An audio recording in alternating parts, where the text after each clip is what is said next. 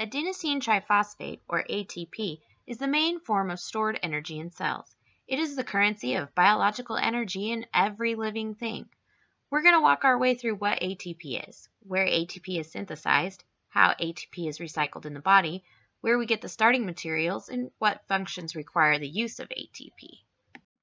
In order to understand how ATP is synthesized and used, we first need to know where it is located. Every living thing is made up of cells. Different cells have different jobs that they carry out, but virtually every living cell requires the energy of ATP to carry out their specific jobs. Each cell makes its own ATP, and the majority of ATP production is done in the intermembrane space of the powerhouse of the cell, the mitochondria.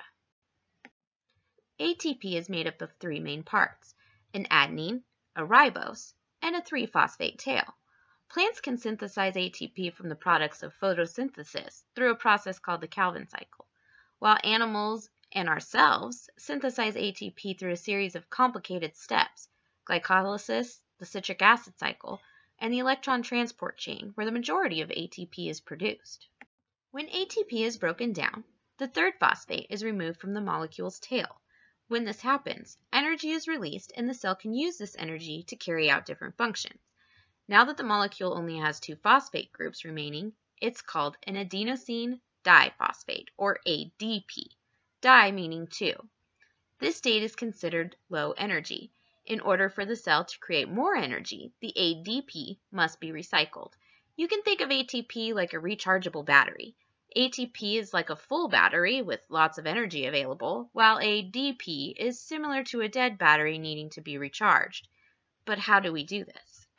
Your body needs to get the appropriate nutrition in order to make the most of its APD production. You can do this by eating foods that are high in complex carbohydrates like breads, grains, and pasta, and from foods high in protein like meat, eggs, and nuts. Cells break these down into products like glucose that is then turned into ATP. If you're not giving your body the nutrition it needs, it'll break down things like muscle tissue in order to make more ATP. So why is ATP so important? ATP is used for obvious things like muscle contractions while working out. It's used by plants to grow. It's used to move macromolecules in and out of cells. It's used to build amino acids and proteins that carry out cell functions.